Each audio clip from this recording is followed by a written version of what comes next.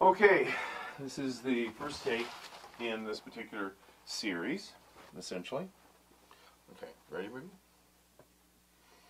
Hello, I'm Bill Inman. This is another video essentially on degenerative myelopathy and how we're utilizing the new laser as a means to take care of this. Degenerative myelopathy is a disaster in veterinary medical uh, therapy because when an animal presents themselves with degenerative myelopathy, they're unable to get up and move around, can't go outside to do their business, and when they can't go outside to do their business and foul in the house, very commonly that's the last trip to the veterinary hospital. Veterinarians hate this disease condition because outside of steroids and anti-inflammatories, the animal either responds or they don't, and then they have to be put down. Um, when we started years and years ago, we started adjusting these dogs. Now, Ruby has degenerative myelopathy. She's a smaller dog. She's uh, 15 actually, and she started actually having difficulties going up and down the stairs when she was about 12.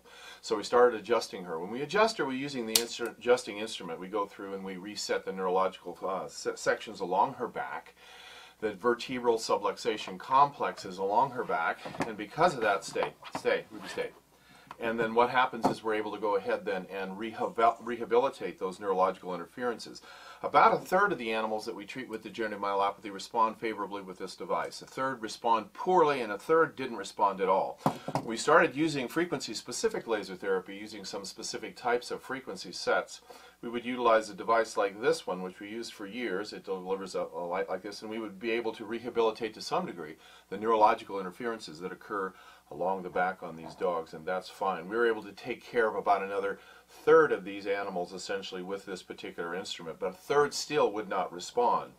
The other therapy that we would utilize is we would utilize a technique now, the new uh, LZ30Z uh, laser essentially, which, if I can turn it on, turns on, get the password, bring it up, enter the password. I did, one, two, three, four, beep, trying to do this, standard hood, and it goes to, you probably can't read this, but it says degenerative myelopathy. This is one of the 1,800 different frequency sets that we use to treat this disease condition.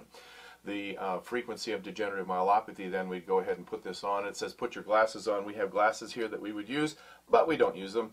Um, and then I go ahead and hit this button, and we're lasering. As you can see, we're lasering in this regard. This is the therapy for treating degenerative myelopathy. Now, we'll treat her for about two minutes essentially, and we'll move this up and down the spinal cord in this regard. We don't have to have our glasses on. And I have it set, uh, this one is set at about 225 uh, milliwatts, essentially, uh, per uh, uh, therapy essentially and so this is enough to treat her. This is the treatment for degenerative myelopathy. When we started doing this about five years ago she couldn't get up and down the stairs and within a week she was and we basically now we went through a series of adjustments on her and that would in fact incur twice a day three days, once a day three days, twice a week two weeks essentially we would do this for about two minutes per therapy.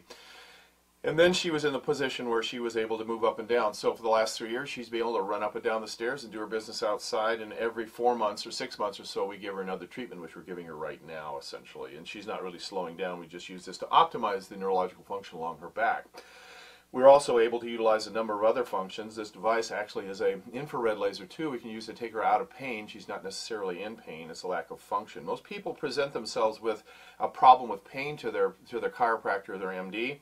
And what we do essentially in veterinary medicine is we see these animals having a problem with function. So we see function problems these come. Their thalamic input essentially is about one third that of the human being, and so they don't experience as much pain.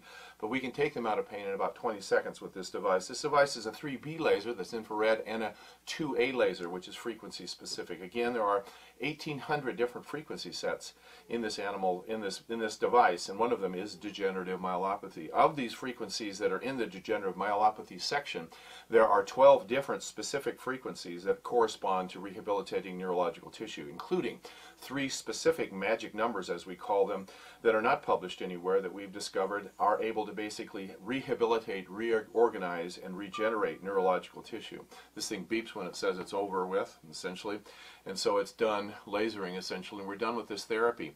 We're able to use these specific frequencies to regenerate, rehabilitate, and reorganize the neurological tissues along the back. And heretofore, we have never had this. We're basic one of the frequencies are for glial-derived neurotrophic factor, which has been discovered in the last five years, of course, and is elemental in trying to rehabilitate neurological function in the canine. We use this technique to a good deal of success.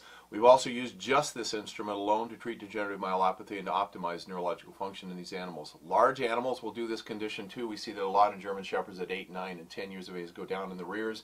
We're able to rehabilitate them most of the time. With this device, we very commonly use a combination of adjustment and the laser therapy to solve the problem. Thank you for listening for uh, about this technique. This device is still available in its pre-launch. Ruby, lie down. I know she's done. She wants to go out and she wants to go now. Um, in its pre-launch um, uh, mode, essentially, which is about $400 less than the actual cost is going to be. It's about 60. It's going to be 65.50 for another three weeks, and then two weeks, and then it's going to be 69.50 after that. I don't sell them, but you order them through me so you can have the 1800 different frequency sets that are in this device. 900 for animals, 900 for humans.